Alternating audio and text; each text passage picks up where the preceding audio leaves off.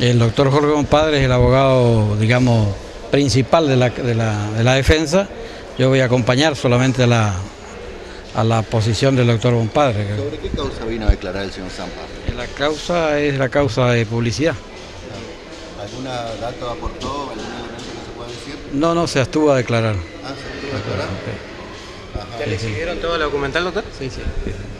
¿Va a seguir detenido ¿Qué- entonces? qué condición Eh, no sabemos, está, ahora está en- en- a disposición del juzgado.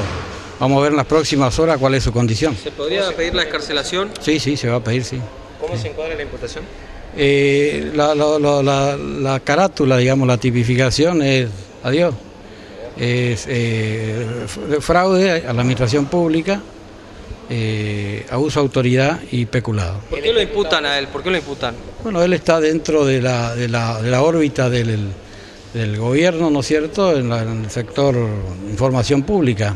Eh, eh, vamos a, a- es, es un, es un requerimiento muy largo, hay que leerlo con detenimiento, a ver exactamente cuáles son las, las causas de imputación. A su criterio profesional, ¿está bien detenido o está mal detenido? ¿Qué es lo que pasa? No, no, está, la detención de una persona eh, es una medida excepcional que nunca se debe tomar si hay otras medidas que aseguren el- la continuidad del proceso. O sea que obviamente que considero que está muy mal detenido, es decir, no es una, no es una, una, una medida eh, ju- justa para este tipo de casos. Bueno, Ustedes lo conocen. No, no podría inmiscuirse en la investigación? ¿Eso quiere decir? No, por supuesto, el, el señor Zampa ya renunció a su cargo, es un ciudadano como cualquiera de nosotros, o sea que está a disposición de la justicia.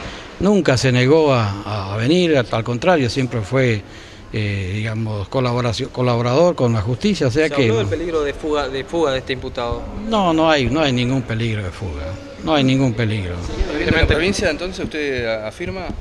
Eh, yo, yo tengo entendido que él no tiene ninguna motivación para, para irse de la provincia, pero salvo que por ahí tenga otro trabajo, está, quedó sin trabajo, así que, pero de todas maneras no. En este momento está afectado la causa y por lo tanto no se va a ir. Concretamente hay serias sospechas de irregularidades o manejos por lo menos poco transparentes o conductas que incluso eh, ya hay, eh, digamos, prima facie, como se dice en términos jurídicos, indicios de que pueden constituir el objeto de un, de un ilícito penal. Así que hay, hay eh, cuestiones que yo considero eh, serias irregularidades que ameritan que continúe esta investigación y que se profundice. Eh, bueno, el juez no solamente ordenó la detención, sino comenzó esta nueva etapa, por decirlo de algún modo, del proceso, que consiste ya en, el, en, el, en la recepción de la declaración indagatoria con el señor José Luis Zampa, con lo cual eh, yo entiendo que sigue un esquema muy similar al que yo planteé, en el sentido de que eh, por ahí mm, el- uno de los mayores responsables es el señor José Luis Zampa por el cargo que ostentaba, que es el director de información pública, y es el que el funcionario que centralizaba todo el tema de la, de la pauta oficial. ¿Qué va a pasar con el gobernador? ¿Se va a esperar a que se termine el- su mandato o se lo va a llamar se lo va a, que, cu- a que concurra a los juzgados?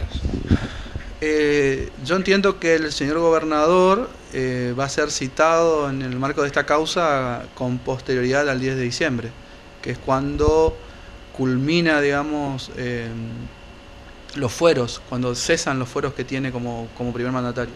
Zampa se encuentra detenido porque se sospechaba que podría fugarse.